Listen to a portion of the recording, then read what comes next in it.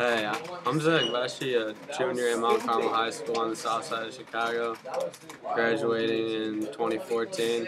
I'm 16 years old and attended middle school at Kahler locally in Dyer, Indiana, where I live. Uh, I plan on wrestling and going on for the baseball team this year. Uh, it's a big year, junior year. ACT coming up in a couple months. I think that'll be a big challenge this year. Also, making the honor roll. I want to get good grades. About to be start applying for colleges.